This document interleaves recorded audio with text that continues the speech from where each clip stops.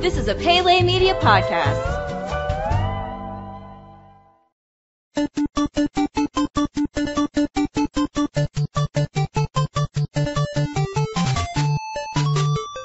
Back to Goonies Minute, everybody. Goonies Minute is the fan podcast where we carefully explore the movie Goonies minute by minute. This is Brady. And this is Chris. And we are going to go over minute number 96 today, and we're joined again by our special guest, John Robert Wilson of the Fifth Element podcast. John, thank you so much for coming back, man.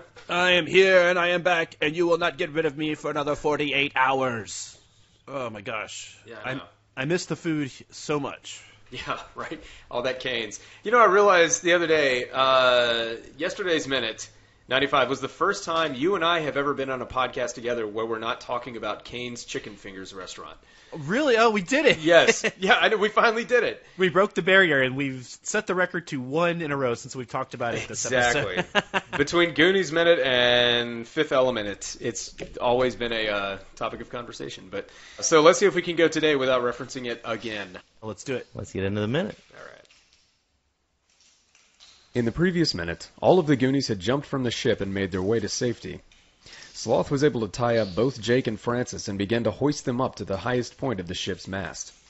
At minute 96, Andy and Brand share a kiss. Andy pulls away and asks Brand what happened to his braces. Brand is confused and asks her what braces. He suddenly realizes that Mikey wears braces and that Andy must have kissed him at some point. He shouts out at Mikey, but Andy quickly quiets him with another kiss. Meanwhile, Sloth ties off the rope and walks over to Ma Fratelli. Ma begins to play on Sloth's emotions by telling him that she had to keep him chained up for his own good. Sloth begins to let his guard down as he is won over by Ma's phony affection. And thus ends minute 96 of The Goonies. All right, so this entire minute just makes me feel so weird, so creeped out. And it's because we have something really sick going on, and it's a mother manipulating, emotionally manipulating her child. Uh, and the fact that it's a grown man with, you know, who's mentally handicapped does not help. And the thing that really messes with me is the fact that the filmmakers are playing this like really sympathetic, sentimental music over something that we know is not right. Again, things that would not happen in today's Exactly. movie making, but probably thank God. now this is probably one of the ones for the better. You know, It's, it's it's a little much, man. I think the big thing for me is the music that they're that they're playing here. yeah, it's kind of yeah is- disturbing. Yeah, but you yeah. know what? Even as a child hmm watching this movie, I remember being now I don't know what if the same thing bothered me then as it bothers me now watching it because obviously I didn't understand everything that I do now, but it was kind of made me feel weird watching it Yeah. even as a kid. I don't know what, it just felt weird. Well, I it, it's it to me it's a three pronged attack, a three factor cringe uh, effect. What do you mean? So the base of the cringe effect doesn't come until the middle of the minute. So the first the the first cringe right is when you notice that oh man Mikey kissed Andy. Right, yeah, we glossed over that. That's a little it's a cringe, but it's a little bit more funny. Yeah. Right, that's funny. And then we get Anne Ramsey trying to be coddling to to Sloth. And you know, there's a reason why they cast Anne Ramsey for this role. There's a reason why they cast Anne Ramsey as Mama from Oh, Throw Mama from the. Train.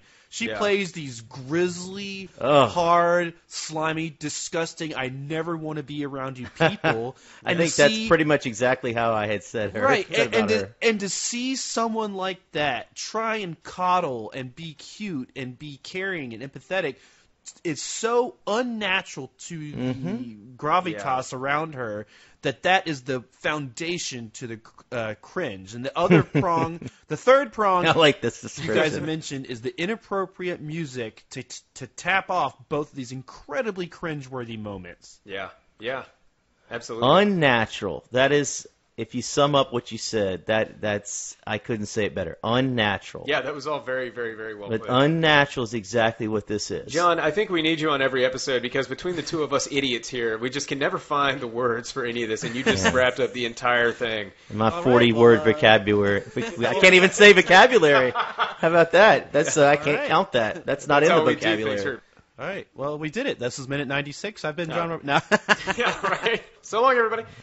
Um, but yeah, that's that's uh, it's it's so strange, so strange, and it's in a kids movie. Come to mama. Come to mama. You're like, oh my god, she wants to eat him. She's a witch. So suddenly, uh, thanks to his brothers fighting, Sloth is afforded the opportunity to tie them up and using his superior sloth strength, pulley them up to the top of the ship just like a couple bumbling blockheads, and they're reduced to watching uh, how their idiocy has ruined the situation. That's right, and I think until the very end on the beach, that's the last we get of the brothers Fratelli. Unless I'm mistaken, I don't think they they come back as long as we're here in the cave.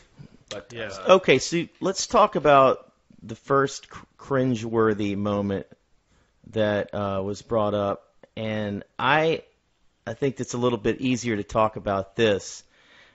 Do you, do you find that it was interesting that as soon as Andy said you don't have braces, that Brand instantly knew that she was referencing Mikey making out with him, like instantly, Of course. like without a thought that he just instantly knew. yeah, yeah, it's kind of strange. She You know, knew. because she she- had to have known. I think, she, yeah, I, I think, she, I think she knew. And the But- look on her but face. him, he's the one that just instantly knew Mikey.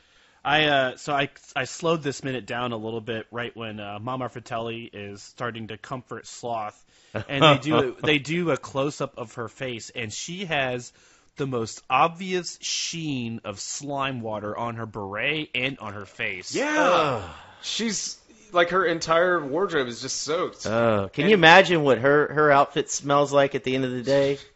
What a Ugh. miserable shoe! It probably smells like the Uruk-hai from the the, What I two say towers.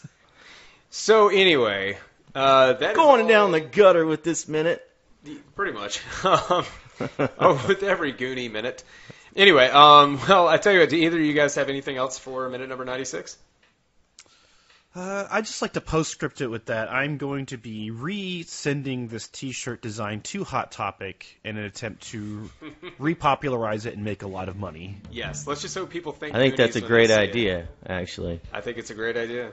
John, thank you so much for coming on uh, again this week, and we're going to have Oh. you one last time tomorrow. But Oh, thanks tell- so much. Yeah, man. Uh, tell everybody where they can find you online. Uh, I'm I do a couple podcasts. One's called The Fifth Element, a movies by minute podcast where we break down the movie The Fifth Element. I do it with movies by minutes Maven Crystal Beth over at thefifthelement.com. It's also on iTunes. And feel like video games, me and Crystal are also on a podcast called Unlimited Lives Radio, also on iTunes. And if you want to follow me on Twitter, my Twitter is at John Robert Wilso. Give me a follow, why don't you? Do it. All right, Christopher, you ready too? I'm good. Let's go. All right, everybody. Thank you so much for tuning in to Goonies Minute today. Until tomorrow, this is Brady, And this is Chris. and we're here to remind you that Goonies Never, Never say, say die. die! I like it. I like it.